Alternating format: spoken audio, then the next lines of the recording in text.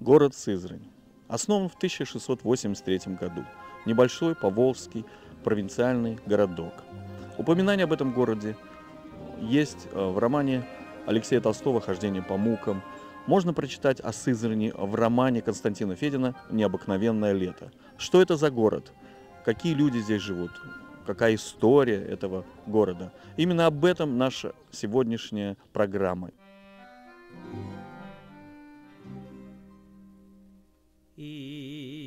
Издалека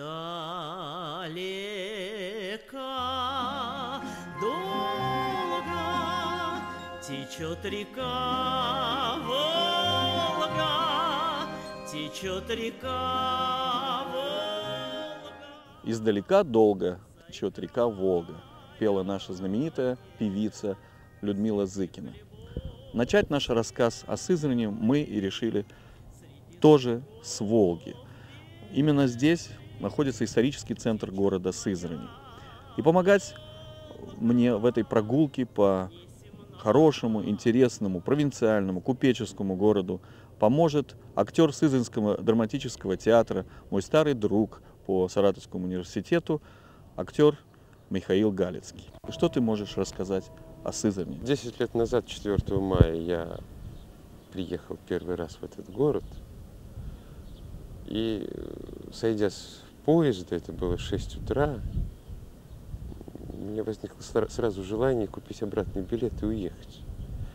Потому что вокзал, на который прибыл мой поезд, Сызрань, город, ни, Нижний, как его здесь называют, произвел на меня удручающее совершенно впечатление. Вокзал всегда, аэропорт – это как бы ворота города. По нему можно судить о том, что из себя представляет город. Но поскольку я человек такой обязательный, я знал, что меня ждут люди, я не мог развернуться и уехать тут же назад. Первые три года было очень трудно, потому что совершенно все другое, другой уклад жизни, другие люди, э, определенное своеобразие. Очень часто я первое время, когда жил, ходил по центру, историческому центру города, я слышал, как поют петухи, как где-то мычит корова, которую начинают доить или выпускают э, из хлева. И, конечно, вот такой образ жизни, он был немножечко непривычен. Приходилось как бы ломать какие-то устоявшиеся традиции, э, стереотипы восприятия жизни. Нужно было учиться по-другому общаться с людьми, которые живут в этом городе. Саратов, Самара, другие какие-то крупные поволжские города – это все-таки города, которые по своему э, образу жизни ближе к центру России, ближе к Москве, ближе к Питеру, ближе к Европе. Сызрань же, как и большинство других небольших поволжских городов, такой э, город, где все-таки уклад жизни, его самобытность, несмотря ни на какие урбанистические изменения, остается прежним. Давай мы продолжим нашу прогулку и будем так вот беседовать и смотреть на разные места Сызрани и просто Хорошо. продолжим беседу. Хорошо.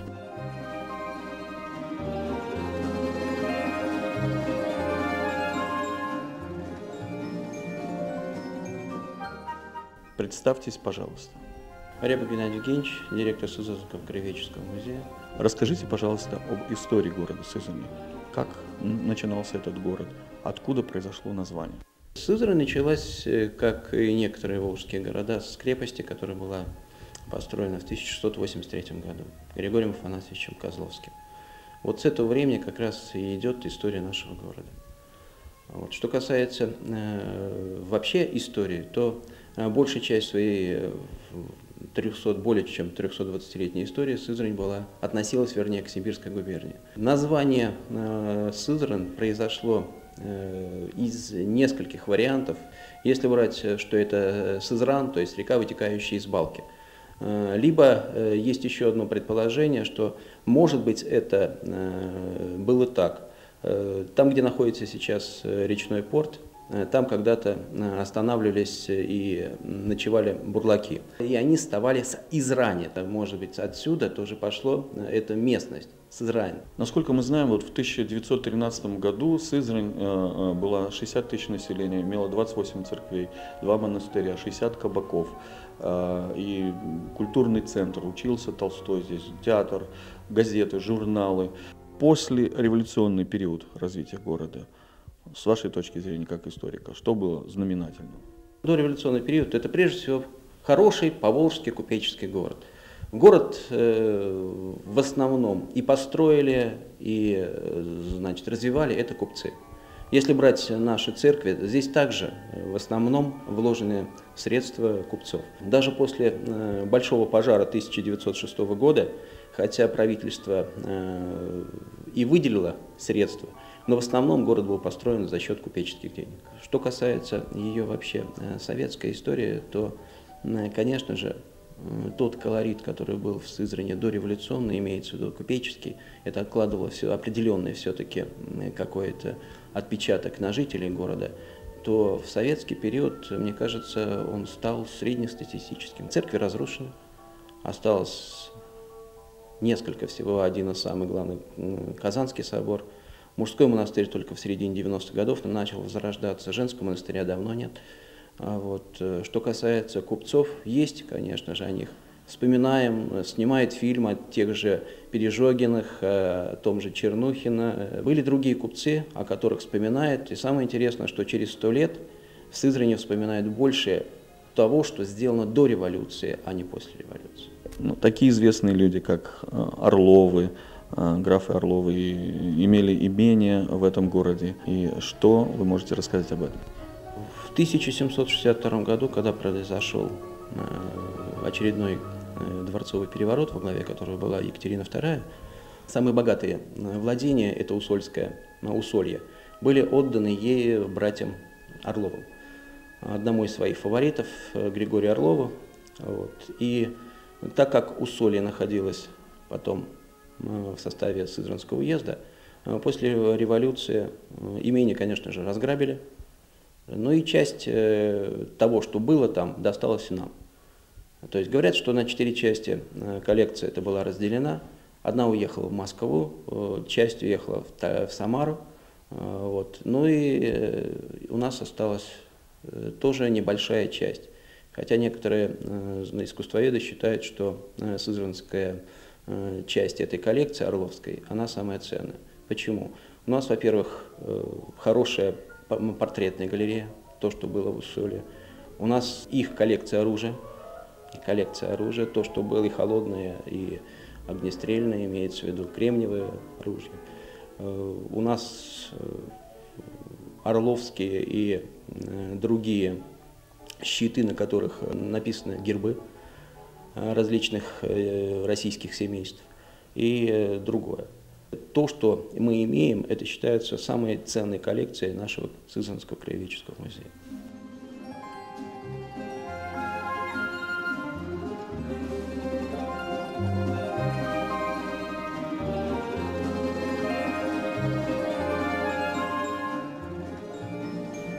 Миша, ну вот мы с тобой находимся напротив Казанского православного собора. Это э, центр, как сказать, э, духовной жизни города Сызрани. Ну вот ты как думаешь, что происходит сейчас в плане духовности с жителями города?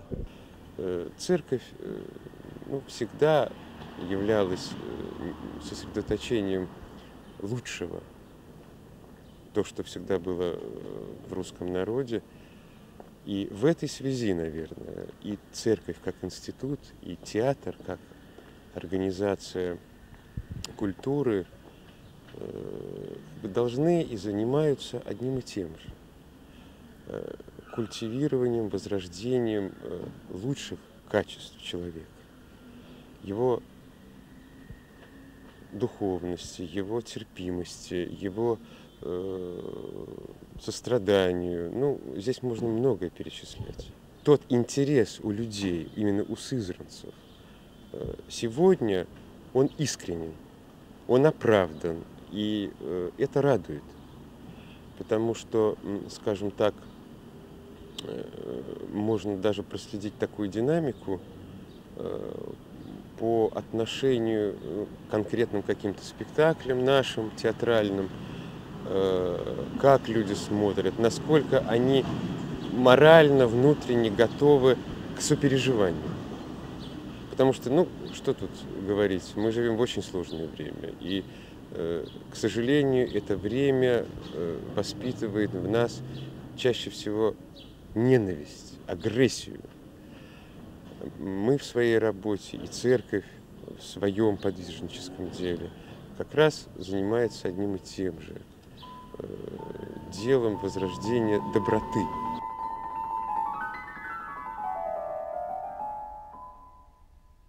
Сызранский драматический театр. Сколько прекрасных воспоминаний из детства. Здесь я посмотрел многие спектакли. Может быть, родились мои первые какие-то юношеские мечты, идеи. Эм, для меня Сызранский театр имеет какую-то особую ценность. Я рад, что Михаил, как актер этого театра, может быть, э, мы сыграем что-нибудь для зрителей. Ну, сыграть-то мы, наверное, не сможем сейчас. А по поводу театра, ну вот мы говорили о духовности, угу. о том, что является центром духовности в городе. Мне бы хотелось думать, что все-таки таким центром является мой театр. Десять лет я служу в этом театре, я очень хорошо знаю каждую половицу этой сцены. Вот этот стол, за которым мы сейчас сидим, это стол из одного из моих самых любимых спектаклей. Это «Касатка» по Алексею Толстому. Кстати, театр называется. Да, и театр носит да. имя этого э, замечательного писателя. На сцене этого театра в разные годы шли многие, ну, практически все известные произведения Толстого. Это и «Хождение по мукам», и «Хромой барин», и «Касатка». Когда а мне еще по роду деятельности приходится проводить экскурсии по театру, рассказывать о спектаклях, о актерах, вообще о театре, о том, какую роль занимает театр в жизни, в культурной жизни нашего города. И я всегда говорил так, что иметь театр – в таком небольшом городе, как наш Сызрань, это роскошь. И театр надо любить, холить и лелеять.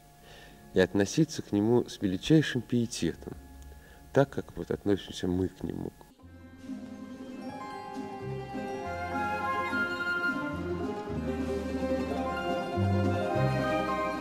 Мы продолжаем наше путешествие по старой Сызрани. И вот в одном из таких уютных Э, старых уголков, который сохранил свой древний колорит, мы сейчас и находимся. Это, в общем, интересное здание. Но прежде чем я скажу, я хочу сказать э, такую вещь. Знаете, Сызрань э, традиционно связывают э, город купцов.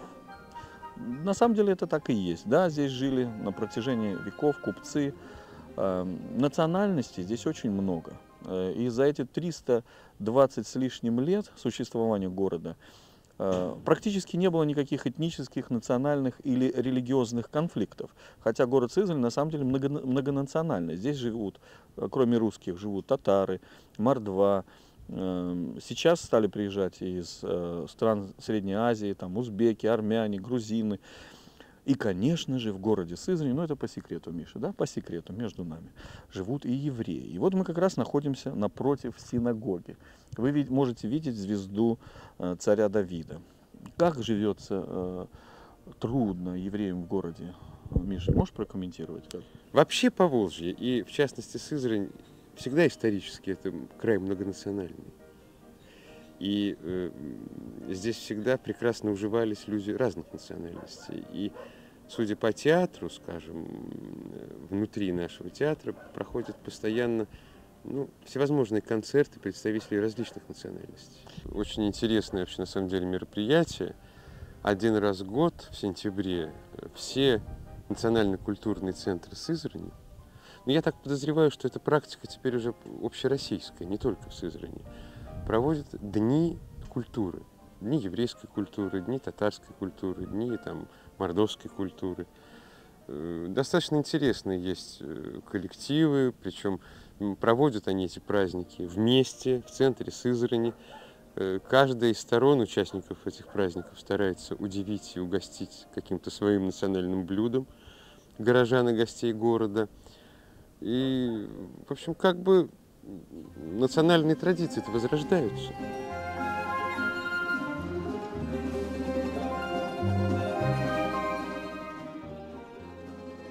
Ну и завершаем нашу прогулку мы с Михаилом по городу Сызрани на берегу реки Сызранка, которая и дала название, собственно, городу. Что для нас Волга, что для нас река? Мы речные жители, мы не морские, мы речные как бы жители. В свое время, как я уже говорил, это была жизнедобывающая река. А что сейчас? Миша, как ты думаешь? Ну, для меня Волга в первую очередь, конечно, это символ России.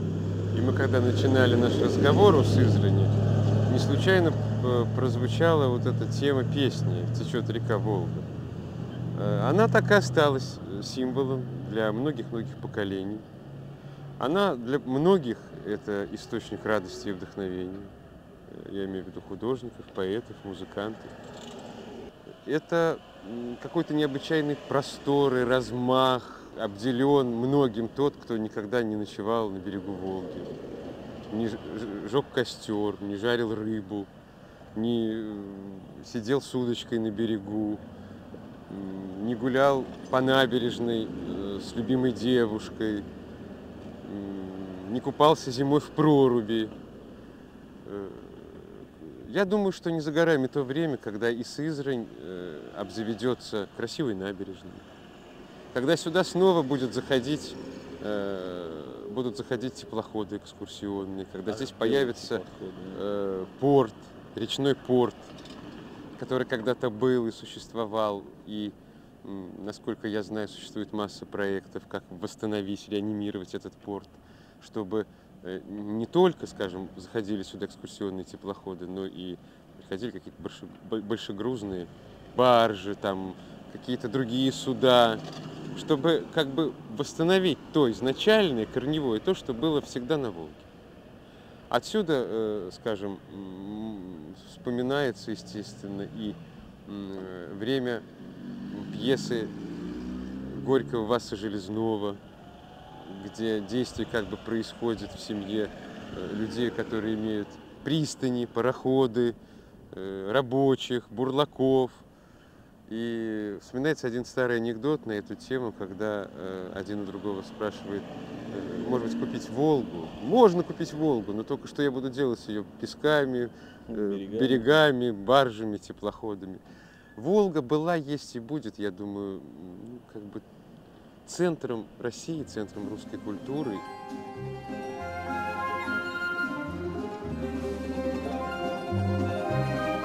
Многое можно еще рассказывать о городе Сызрани, о Волге, но мы вынуждены уже заканчивать нашу передачу, нашу прогулку по прекрасному э, городу Сызрани. И просто в заключение верим, что вам понравилась наша прогулка. Э, Валерий Тришкин и Михаил Галицкий. специально для русского часа из Сызрани.